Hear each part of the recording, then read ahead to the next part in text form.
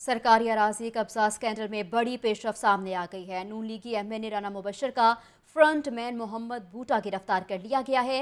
सरकारी अराजी वागुजार करवा ली गई है। इसकी तफसीला जानेंगे शबीर हैदर ज़फ़र से। शबीर हैदर, आगाह कीजिए।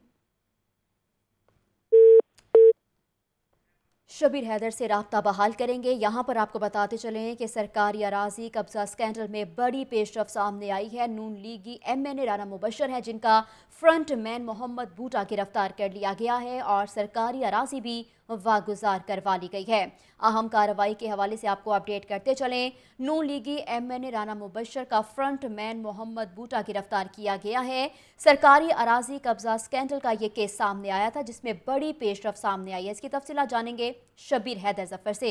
शबीर, सुन पा रहे हैं तो आगाह कीजिए। बिल्कुल जिला लाहौर में सरकारी अराजी कब्जा स्कैंडल में बड़ी पेशरफ सामने आई है, जिसमें नून लीगी M N A Rana Mubashar का फ्रंट मैन जो है, मोहम्मद बूटा, उसको गिरफ़्तार कर लिया गया है, जिसमें एंटी करप्शन काम का कहना है कि मुलजम के खिलाफ डीसी लाहौर, दोस्तर रियाज के रेफरेंस पर एंटी करप्शन में मुकदमा दर्ज किया गया था, और उसमें जो मुलजम ने कंट के इलाके मौजा अब्दुल्ला में चौंसठ कनाल बारह मरला पर गैर कानूनी कब्जा कब्जा कर रखा था, जिस पर जो है मुलजम से ये सरकारी अराजी भी वाकई करवा ली गई है और मुलजम से सरकारी ज़मीन पर जो कब्जा की मद में इक्कीस लाख से जायद का जो तावान है वो भी वसूल किया जाएगा। इस हवाले से एंटी करप्शन हुकाम ने कहा है कि लाहौर सरकारी अराजी कब्जा स्कैंडल में तहकीकत का दायरा कार वसी कर दिया गया है, जिसमें मुलजम को आज उस्मानी रिमांड के लिए अदालत में पेश किया जाएगा।